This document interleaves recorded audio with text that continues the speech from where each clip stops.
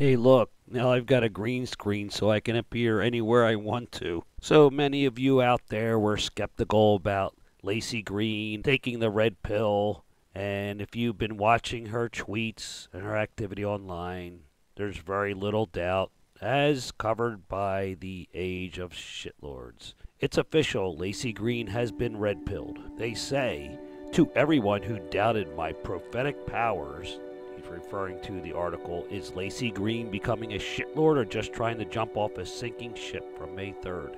So he was prophetic. You can start apologizing now.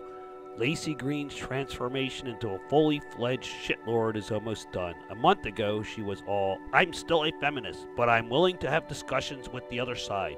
Today, she's criticizing feminism, calling herself red pilled and calling out tabloid newspaper type posts for being sanctimonious and egotistical. Is this real life?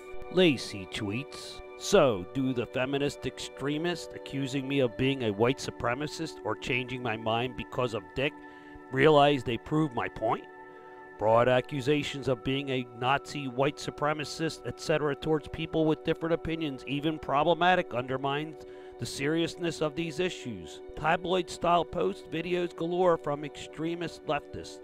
Is this really about the struggle, y'all? Cause it looks a lot like sanctimony and ego. Sounds like she's experiencing what we've been experiencing for years. Ah, well, they can stay high and mighty. I'm not mad, just disappointed, you know.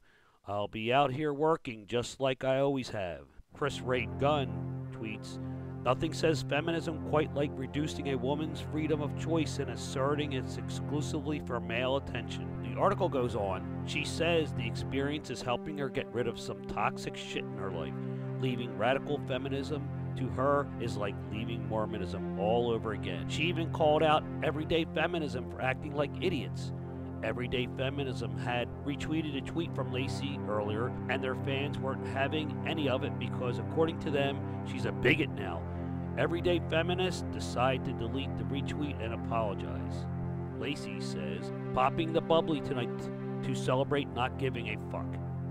Joshua Daniels tweets, You seem liberated by these recent events. Glad your eyes are opening to the cancerous element on your side. Lol, y'all have no idea. This experience is unexpectedly helping me heal and let go of some toxic shit in my life.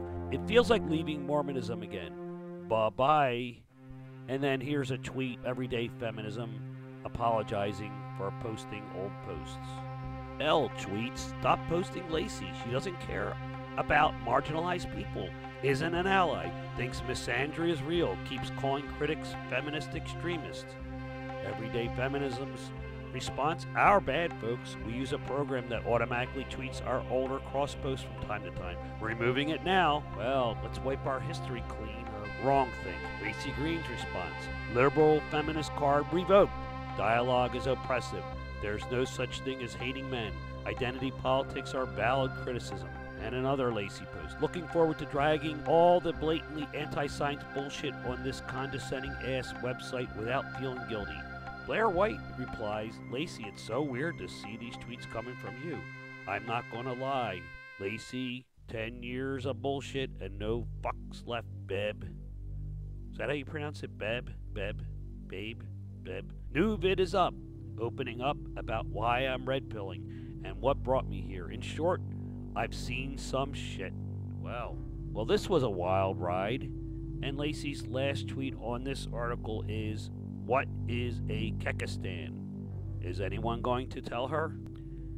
Laci claimed when she started this red pill process that she had noticed the sheer nastiness and ferocity of the feminists and social justice warriors eating their own. The recent events with Rebecca Tuvel and others and now she's discovering once she started questioning orthodoxy and once she started talking to people that are the enemies of the cult of SJW and third wave feminists, she became an enemy, and this came as a surprise to no one as they turned on her quicker than you could cry patriarchy. Laci has become the latest heretic to be burned at the stake cult of SJW.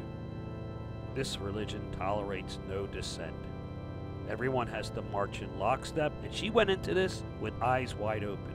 So we wish her luck, and we wish her well. And it's great to have you on our side. If this it looks true, and uh, this is a little bit uh, having been watching these recent tweets and then seeing this article, compile them into one spot. It's easy to notice that this is this is for real. So, and just now while I was editing this video, I saw some new posts from Laci, obviously frustrated or angered by the SJW community. She tweets, here's a bunch of series of tweets, three of them. Some post about me from the SJW sphere are whack as hell. I feel like I have to bid on this madness before I share any actual opinions. I haven't even really shared any opinions yet. Lol. I wanted to be clear just how vitriolic and toxic it becomes over the slightest disagreement. My, how quickly some feminists who claim to be anti-harassment, anti-pylon, or anti-sex shame turn around and do just that. Amazing. Well, you're learning, Laci. You are learning. Anyway, thanks for watching again. See you soon. And it looks like my voice is back. Goodbye.